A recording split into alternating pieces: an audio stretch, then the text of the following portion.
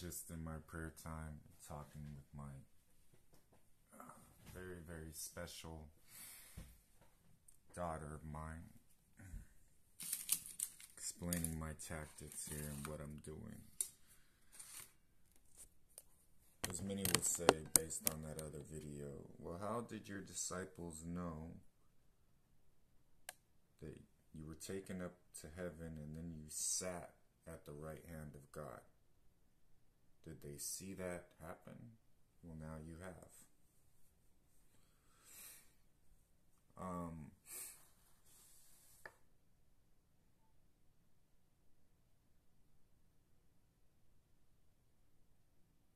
the biggest thing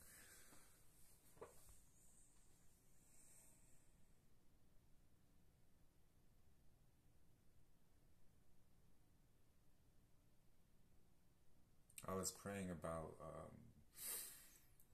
delving into the scripture and expounding upon what's already there, and instead, we're going to delve into the feeling of being deceived. The feeling of that. Um, am I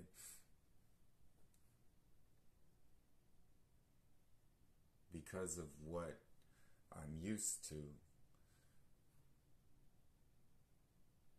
and what I'm visually seeing, equating that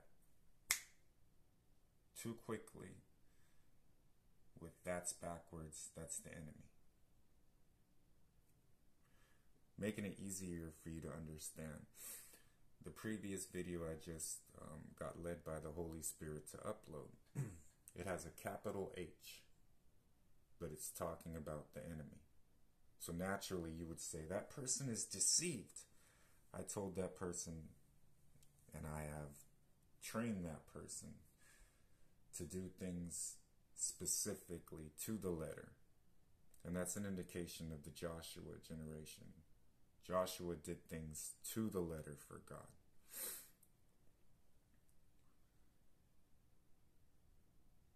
So that you can visually see.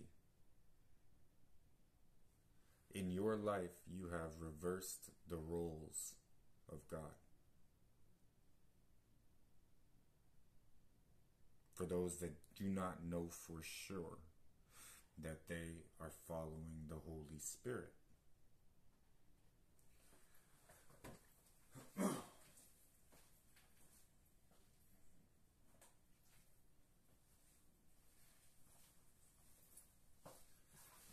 So then again,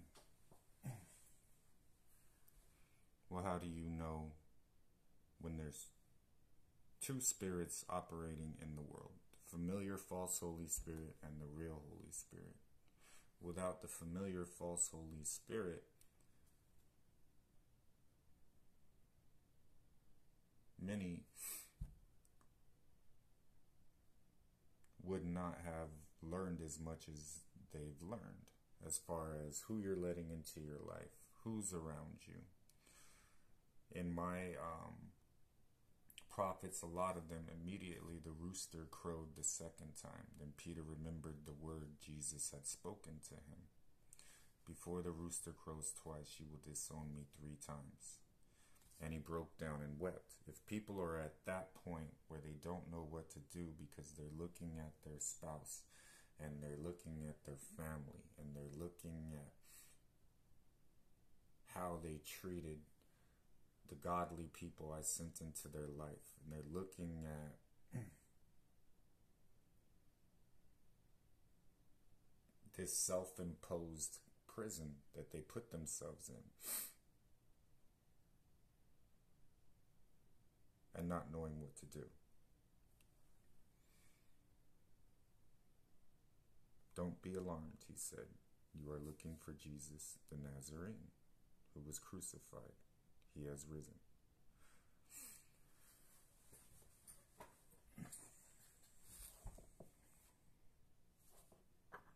I will hand you a white stone and reveal to you your true name, is what scripture says.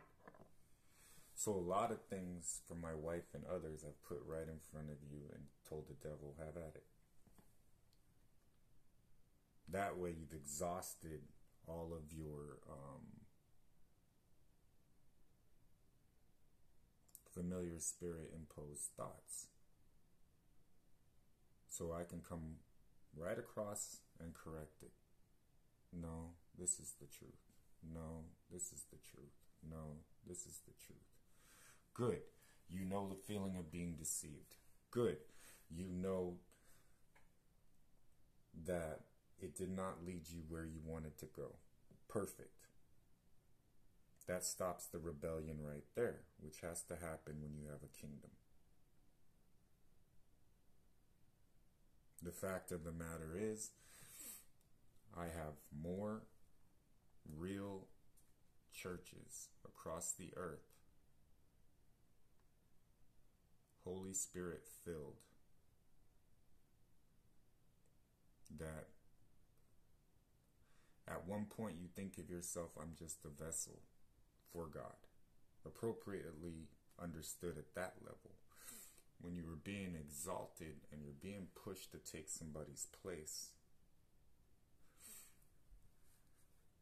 I take you to a level of intimacy that is more designed to. Now I want you to be comfortable with your role in my kingdom. Now I want you to be steadfast and not let those people that still have those familiar spirits shake you. Because you know my voice so well.